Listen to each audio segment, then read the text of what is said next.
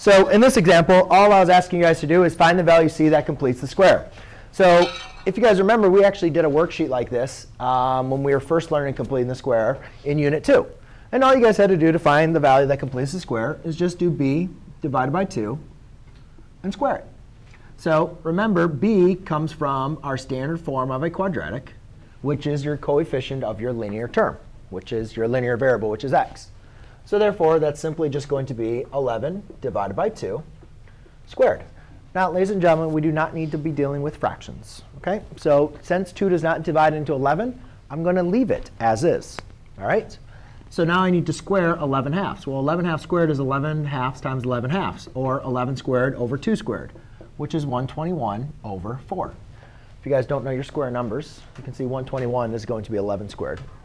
Look at that. Then they wanted you to write it as a perfect square. x squared plus 11x plus 121 over 4. I would prefer if you would have gone a step further and just rewritten that as a binomial squared, which if you guys remember, I gave you guys the formula when you guys first did this. I said it's always the factored form of a perfect square trinomial is always x plus b divided by 2 squared. So what was my b divided by 2? 11, 11 halves. So when I come around and check your homework, I expect to at least see the value c, and then it written as a perfect square trinomial. And you'll make me really happy if you write it as a binomial squared. OK? So make sure you guys complete that not only for that problem, but for the rest of them.